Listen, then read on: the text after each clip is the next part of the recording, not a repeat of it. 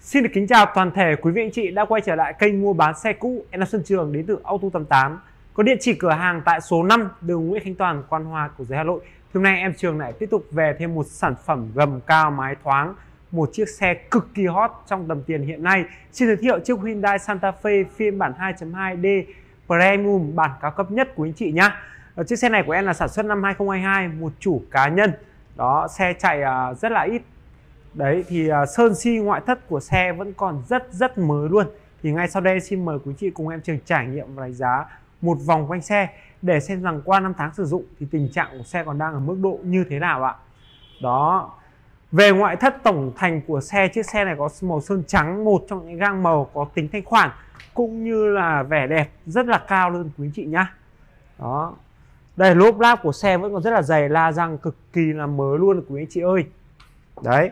Hiện tại giá sản phẩm chiếc xe này em Trường đang chào bán với mức giá chỉ với 1 tỷ 115 triệu đồng và giá trên em Trường vẫn còn có thể thương lượng được cho quý chị nào qua xe xe và trải nghiệm trực tiếp chiếc xe này đấy.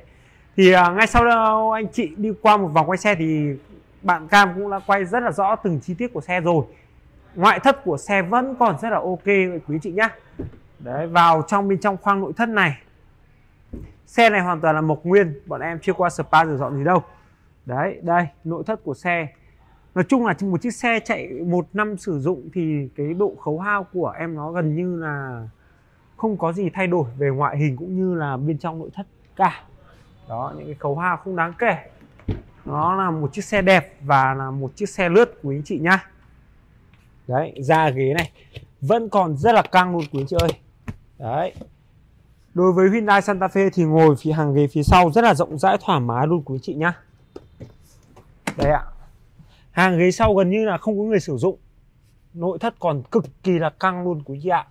Đấy, nội thất rộng rãi, option thì đây là bản cao cấp nhất rồi. Thì xe sẽ được trang bị những cái gì? Tốt nhất, đẹp nhất của dòng Hyundai. Đó. Santa Fe một sản phẩm xe quốc dân. Và đi mời quý chị cùng em Trường xem qua về khoang máy của một chiếc xe cái yếu tố giá trị cốt lõi của chiếc xe nằm ở trong cái khối động cơ 2.2 máy dầu này. Đó, diesel. Đấy, anh chị để cho em này, từng các cái gang máy nhá. Gang máy còn rất là sáng luôn này. Chạy ít này. Nắp capo chưa có sự tháo rỡ. Đó, keo chỉ, các thứ đều là di nguyên hết. Các cái con ốc vẫn còn ốc chân máy này. Vẫn còn chấm sơn nguyên của hãng, quý chị nhá.